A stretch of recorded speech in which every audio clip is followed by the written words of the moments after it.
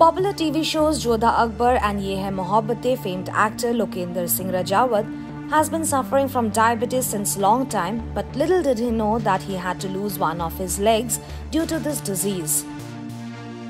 In an exclusive chat with E Times TV, Lokendra, whose leg has been amputated last week due to high stress levels, which shot up his blood sugar beyond dangerous levels, said, Never neglect your diabetes is the moral of the story. That should be your first line. Like many artists in the industry, the ongoing pandemic has also hit the life of this actor, as he shared. I could do nothing. I was working so well before the COVID pandemic. Work started decreasing a lot, and there was a certain amount of financial stress at home.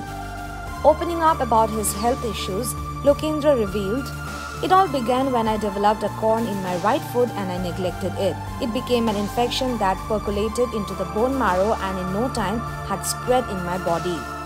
The only way to save myself was to get the corned leg amputated till the knee.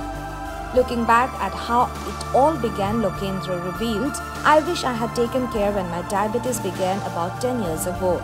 We actors often have no fixed timings when shooting and our erratic hours of lunch and work have an adverse effect on our health. Mentioning about how CINTAA helped him, Lokendra said that he got financial aid through CINTAA and actors have been calling up to know about his health and providing motivation.